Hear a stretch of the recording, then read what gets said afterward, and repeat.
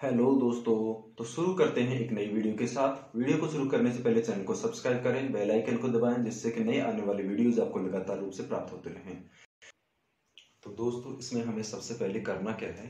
दो गिलास लेने हैं इस तरीके से, और दो नींबू की आवश्यकता पड़ेगी आपको। तो दो नींबू और दो गिलास लेने हैं।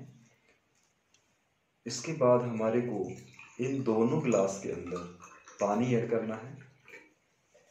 दोनों के अंदर प्लेन पानी।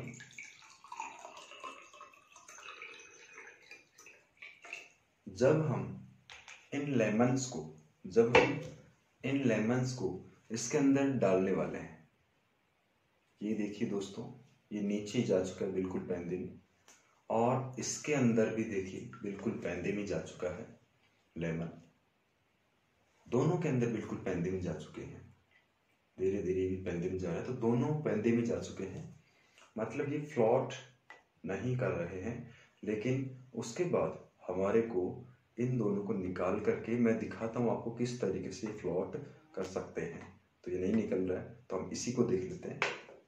तो इसके अंदर हम देखिए, पानी के अंदर, वाटर के अंदर हम सॉल्ट ऐड कर रहे हैं। तो इस तरीके से हमने थोड़ा इसमें सॉल्ट ऐड कर दिया है और इसको इस तरीके से डिजोल्व कर लिया है, अच्छे से घोल लिया है। उसके बाद हम इसके अंदर ये डाल रहे हैं, दोस्तों, इस तरीके से देखो। तो इसके अंदर जो ये नींबू है, जो लेमन है, इस वाटर के ऊपर फ्लोट करने लगा है।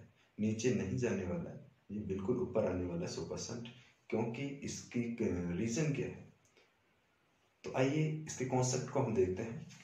सबसे पहले जैसे ही हमने इस पानी के अंदर प्लेन पानी के अंदर। दोनों में ही पहले प्लेन था। तो प्लेन पानी के अंदर जैसे ही हमने नींबू डाला था तो हमारे को ये बात समझ में आ जानी चाहिए थी कि यहाँ पर ही डूबता है।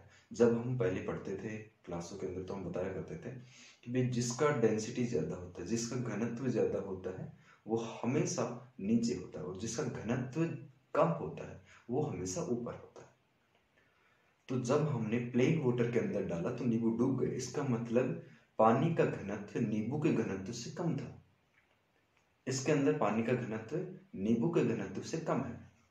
लेकिन इसके अंदर सोल्ट ऐड करने की वजह से पानी का घनत्व बढ़ गया है और इतना बढ़ गया है कि वो नींबू के घनत्व से कहीं ज़्यादा है।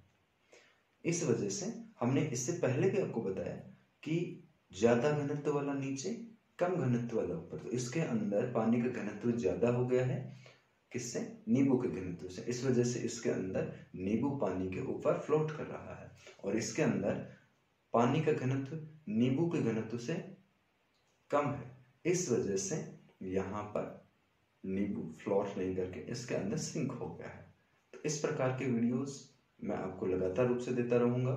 Thank you